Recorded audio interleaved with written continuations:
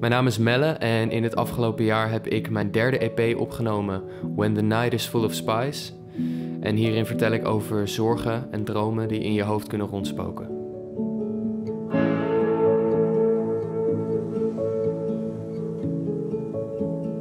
Samen met Stefan Hilterman heb ik deze korte film gemaakt, omdat we wilden laten zien hoe alle muziek is ontstaan vanuit zijn, maar vooral ook mijn eigen perspectief.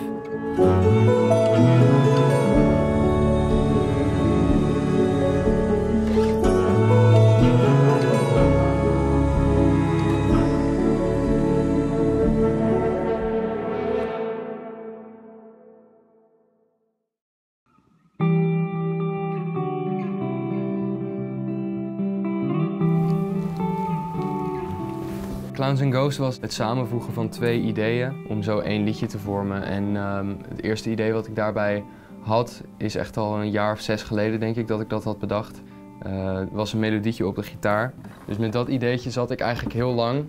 Uh, en ik kon er maar geen melodie bij bedenken en ik kon er maar geen tekst bij bedenken. Totdat ik op een gegeven moment, ik denk anderhalf jaar geleden of zo, een nieuw idee bedacht van een, uh, van een coupletje wel met tekst en melodie. Dark shivers fly over your head. Dreams of a lonely girl that's lost at sea.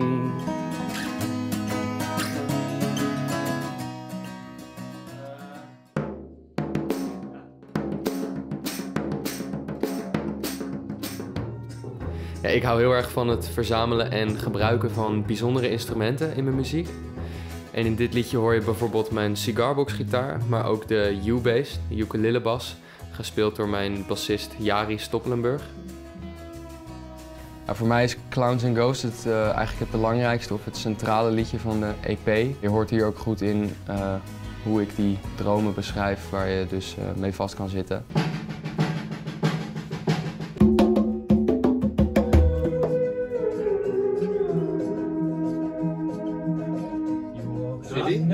Dat is wel cool op zich. Soms werkt het goed om een liedje gewoon in een half uur te schrijven dat alles van begin tot eind af is. En soms heb je veel langer nodig. In dit geval uh, dus een jaar of zes.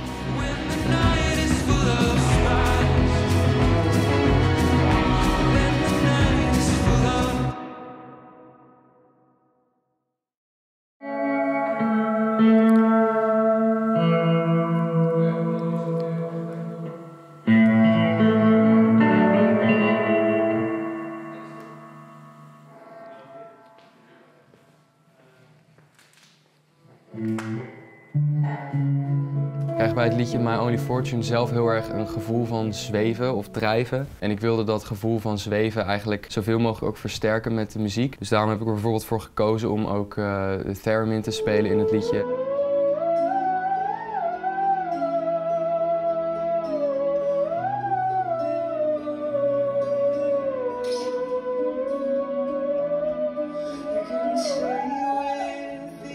De ideeën voor het strijkersarrangement dat ik zelf bedacht en gewoon met mijn stem even ingezongen. Maar het was wel heel mooi om dan tijdens die opnamedag met de strijkers te zien hoe die ideeën echt tot leven kwamen.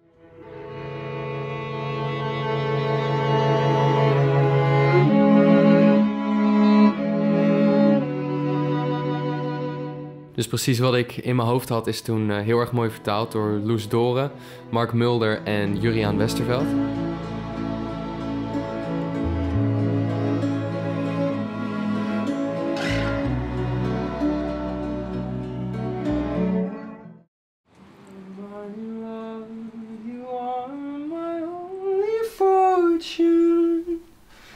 Gewoon heel smooth, vind ik. You are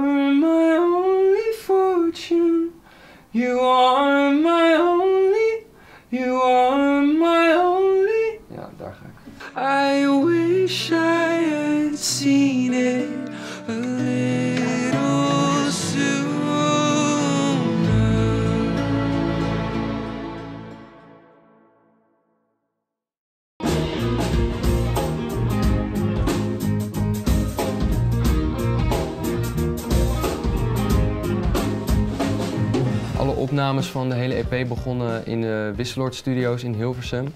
We zijn daar begonnen met uh, drums, uh, bas en elektrische gitaar. En voor Run Run was eigenlijk die basis heel erg belangrijk. Maar een van de andere elementen die ook heel veel toevoegde was de gitaarsolo van mijn gitarist Max Warmerdam.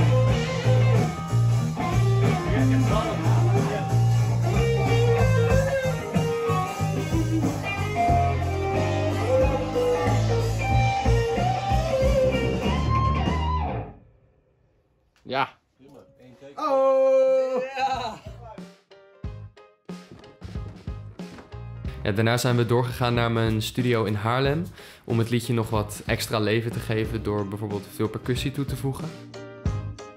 Maar we hebben ook een uh, geïmproviseerde onzin pianotake erbij gedaan, wat ik natuurlijk heel erg leuk vond om in te spelen. En uiteindelijk is dat zo'n vrolijk liedje geworden dat hij in de zomer veel voorbij is gekomen op de radio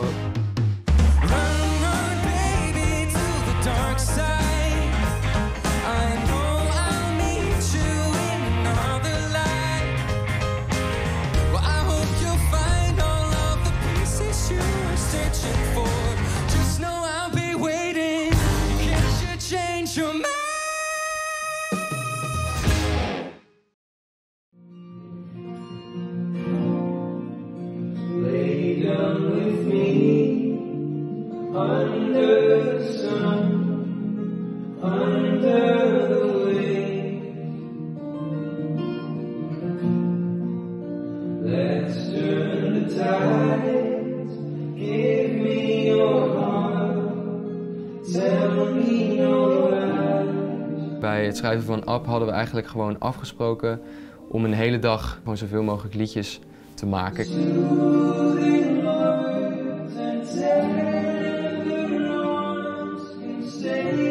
Volgende dag keek ik dat filmpje terug en toen dacht ik, wow, dit is eigenlijk echt een super mooi liedje.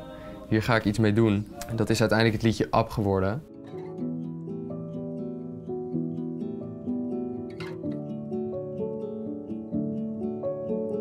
Er is één zinnetje in dit liedje Up die heel goed omschrijft waar eigenlijk de hele EP over gaat. Soothing words and tender arms can save me when dreams around me slowly but surely break me.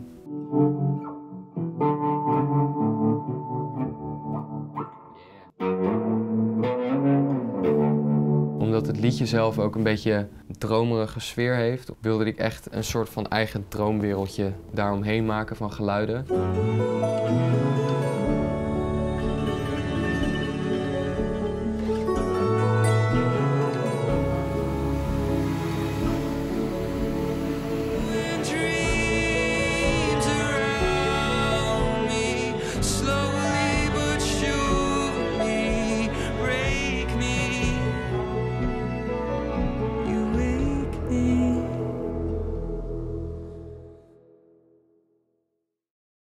Zijn twee liedjes op deze EP die ik samen met een vriend van mij heb gemaakt, namelijk uh, Wessel van Deursen. Ja, dat zijn namelijk de liedjes How I Long en Up. How I Long dat was het eerste liedje wat ik ooit met Wessel samen maakte. Ik denk twee jaar geleden ondertussen.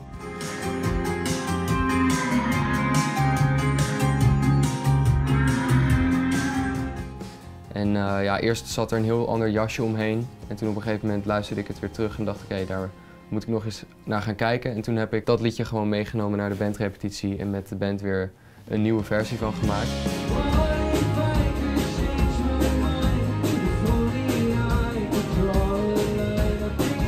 We hebben met de producer Juriaan Sielke samengewerkt. En uh, ja, die had gewoon heel veel goede ideeën over de muziek. Ik vond het wel super. Chille sfeer man, deze. Heel. Hi guys, dat is best wel goed.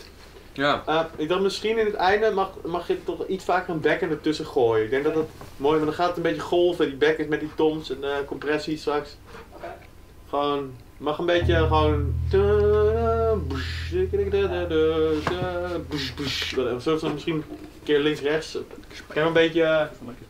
Pak het, maar, pak het maar een beetje vrij op. Zodat de partij is niet wel duidelijk, maar ik denk dat dat vrijheid daar gewoon fijn is ook. Lekker go with the flow.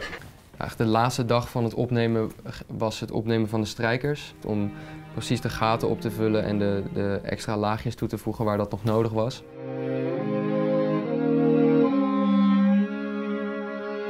En op die laatste dag is ook nog uh, een van mijn oudere vrienden van de middelbare school nog langsgekomen om uh, trombone te spelen. Dat is Niels Jacobs. Dus ja, we hebben wat eh, lange dagen erop zitten. En hier in deze ruimte hebben we nog eh, vier dagen of zo, vijf dagen zelfs gewerkt. Ook van, uh, ja, van 10 tot 10 zeg maar. Bij How I Long was de drive van de drums natuurlijk heel belangrijk. En Ties Voskamp, mijn drummer, die heeft een deel daarvan ook hier in de gang opgenomen om het nog wat groter te laten klinken.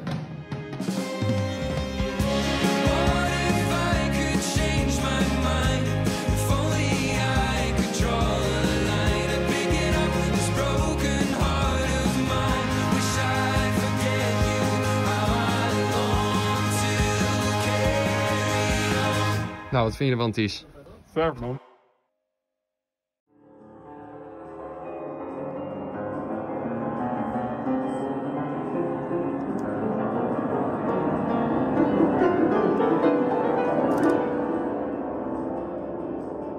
Nou ja, ik heb soms het gevoel dat het, dat het leven heel snel uh, ja, voorbij gaat. En dat je eigenlijk nooit stilstaat bij waar je nu bent op dit moment in je leven. In het liedje Already Home beschrijf ik eigenlijk uh, dat je daar af en toe wel stil bij mag staan.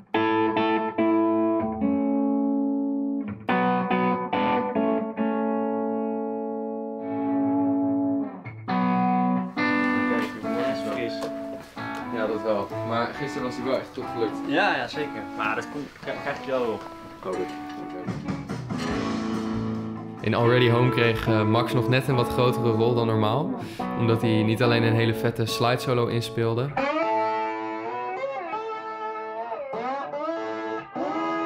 Ook omdat hij een hele hoge schreeuw opnam in de bridge, die voor mij gewoon te hoog was om te zingen.